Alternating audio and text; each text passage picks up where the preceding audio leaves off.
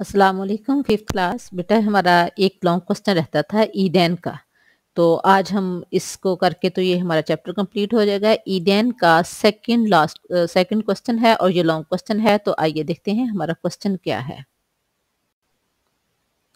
हमारा second question है long question ईदेन के माशरती फ़ायदो असरात बयान करें। यानी ईदैन जो हैं, जो हम ईदें दोनों करते हैं ईद फितर और ईद अजहा उसका मुआशरे पर क्या असर पड़ता है? उससे क्या फ़वाद हैं और उनसे क्या असरात मुरतब होते हैं? तो आइए हम देखते हैं इसका आंसर। ईदैन के माशरती फ़वाद असरात क्योंकि जिस माशरे में हम रहते हैं वहाँ हमारा अपने आसपास के लोगों के साथ जो ताल्लुक होता है, वो अगर अच्छा होगा तो माशरा अच्छा तश्कील पाएगा। अगर वो हमारा ताल्लुक अच्छा नहीं है तो हम कभी भी एक अच्छे माशरे के रुकन या फ़र्द नहीं बन सकते।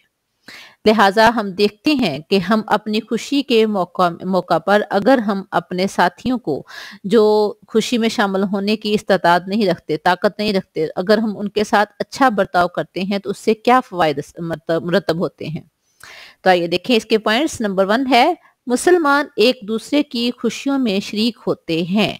जब हम अपने लिए कोई अच्छी चीज़ बनाएँगे तो हम कोशिश करें कि हम अपने आसपास में जो वा, जो वाकई ही मुस्तक हैं उनको हम अपनी खुशी में कुछ ना कुछ देकर शामिल करें। तो इससे क्या है हम एक दूसरे की खुशियों में शामिल होंगे। वो हमारी खुशियों पे खुश होंगे और हम उनको देकर खुश होते होंगे। देखें जब अल्लाह ताला हमें देता है और बिना मांगे देता है और बेतहाशा देता है तो हम उसके दिए हुए रिजक में से अगर गरीबों को देते हैं, उनको अपनी खुशियों में शामिल करते हैं तो इससे कितना अच्छा मुआरे पर असर पड़ेगा।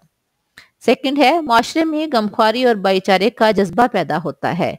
इसकी मैं आपको एक छोटी सी मिसाल देती हूँ। देखें, जब आप रोज़ा रखते हैं तो आपको दूसरों की भूख प्यास का एहसास होता है। वैसे नहीं लेकिन जब आप रोजा रखेंगे तो वाकई आपको अंदाज़ा होगा कि भूखा प्यासा इंसान किस तरह ज़िंदगी गुजारता है। हम तो अल्लाह को राज़ी रखने के लिए कर, रखते हैं रोज़े लेकिन एक ऐसा शख्स जिसकी रूटीन में ज़िंदगी में उसके पास इतनी आसानियाँ नहीं हैं तो अगर हम उसके साथ अच्छा बर्ताव करेंगे तो फिर क्या फ़र्क पड़ता है? फिर हमें क्या फ़ायदा होता है? जब हम भूखे प्यासे रहकर दूसरों की भूख प्यास का एहसास कर सकते हैं तो इसी तरह से अगर हम ईदैन के मौका पर अपने साथियों को ईद में शामिल करेंगे तो इसमें क्या है? माशरे में गमखारी और भाईचारे का जज्बा पैदा होगा। तो वो शख्स जिसको आप अपनी खुशी में शामिल करना चाहते हैं तो वो भी दिलो जान से आपकी खुशी में शामिल होगा। आप उसको अपनी खुशी में कैसे शामिल करते हैं? आप अल्लाह के दिए हुए रिजक में से उस पर खर्च कर रहे हैं तो वो खुश हो रहा है तो वो भी आपकी खुशी पे खुश होगा। ठीक है? इसलिए आसपास के गरीबों, यतीमों, मस्किनों और हकदार लोगों की जरूरियात का ख्याल रखना चाहिए। नंबर थ्री है, ईदैन गरीबों और मस्किनों की अमदाद का ज़रिया है। जैसा कि पहले भी हमने पढ़ा है ईद उल फितर पे हमने फतराना अदा करना होता है। फतराना किनको देते हैं? गरीबों, यतीमों और मस्किनों को। उससे फिर क्या है? दूसरों की जब मदद होती है तो ज़ाहिर माशरे में अच्छा असर बढ़ेगा। और ईद अजहा पे हम कुर्बानी का गोश्त लोगों में तकसीम करते हैं। जो नहीं कर सकते, जब उनको कुर्बानी का गोश्त मिलेगा तो ज़ाहिर है उनकी इमदाद होगी। यानी आपस में यहाँ हम रहते हैं, चाहे वो हमारे रिश्तेदार हैं या नहीं, लेकिन वो हमारे माशरे के अफराद तो हैं ना। हमारा फ़र्ज़ बनता है कि हम गरीबों और मस्किनों की मदद करें। चाहे फतराना देकर, चाहे कुर्बानी का गोश्त देकर, चाहे इनके अलावा जितनी अल्लाह तला तोफीक दे, वो सदका खिरात करके। जब हम उनकी मदद करेंगे तो अल्लाह ताला हमें मजीद देगा। जैसे मैंने पहले भी बताया था कि अल्लाह ताला फरमाते हैं यमहाकुल्लाबा व युरबिस सदकात। अल्लाह ताला सूद को मिटाता है और सदकात को बढ़ाता है। ये मत सोचें कि आप अल्लाह के रास्ते में खर्च करेंगे तो आपके रिजक में कमी आएगी। ऐसा हो ही नहीं सकता। आप अल्लाह के रास्ते में खर्च करें तो देखें अल्लाह ताला आपको किस किस तरह से और कहाँ कहाँ से नवाजता है। इसलिए गरीबों, मस्किनों और हाजतमंदों की ज़रूरतों का ख्याल रखना चाहिए खसूस अपने खुशी के मौका पर और ईदैन के मौका पर। आगे देखें। नंबर फोर पे है, ईद के खुतबा में लोगों को मुख्तलिफ़ दीनी मसाइल की तालीम दी जाती है और इनकी माशरती असलाह की जाती है। यानी खुतबा जुमा, खुतबा ईद के दौरान जो मसाइल बताए जाते हैं, वो लोगों को उसमें दीन की तालीम दी जाती है। माशरे की असलाह के लिए बताया जाता है, लिहाजा उस खुतबे को खामोशी और तवज्जो से सुनना बहुत ही ज़्यादा ज़रूरी है। क्योंकि अब जब सब जहाँ जमा है तो जब अल्लाह के हुक्म के मुताबिक हम अल्लाह के पैगंबर की बात मानते हुए वहाँ जमा है तो फिर यहाँ भी इस चीज़ का भी ख्याल रखें कि हम जब जाते हैं ईदगाह में और बातों में लग जाते हैं, बातों में नहीं लगना चाहिए। ईद के खुतबे को खामोशी से चुनना, सुनना चाहिए। जब आप ईद के खुतबे को खामोशी से सुन लें, फिर आप जो चाहे बातें करें, क्योंकि उसमें जो कुछ बताया जाता है, वो माशरे की इसलाह के लिए ही बताया जाता है। दीन इस्लाम ईदैन के मौका पर नमूद नुमाइश और इसराफ से परहेज का दर्श देता है। नमूद नुमाइश यानी आप दूसरों को अपने से कम शो करें, अपने आप को बेहतरीन शो करने के लिए फजूल खर्ची करें। इसराफ क्या हद से ज़्यादा बढ़ना।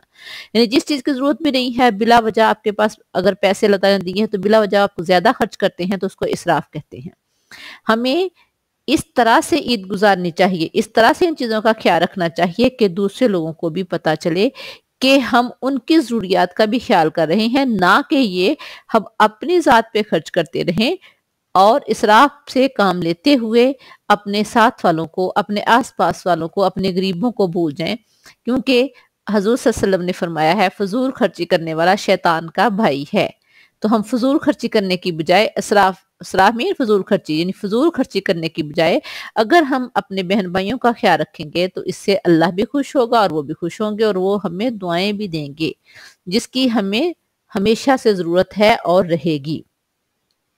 आगे देखें, हमें चाहिए कि हम ईदैन को अल्लाह ताला और उसके प्यारे नबी सल्लल्लाहु अलैहि वसल्लम के अहकाम के मुताबिक मनाएँ और मुस्तक लोगों को अपनी खुशियों में शामिल, शरीक करें।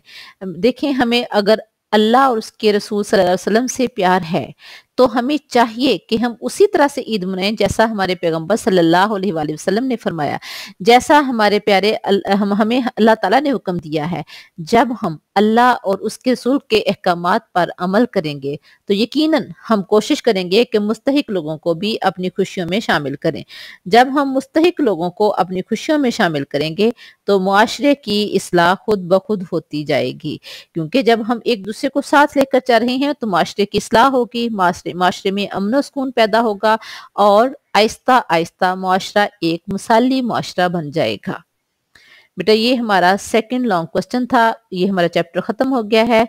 आपने इसको लिखना भी है और याद भी करना है। नेक्स्ट लेक्चर में हम इनशाला इनशाला नेक्स्ट लेसन पढ़ेंगे। अल्लाह हाफिज़।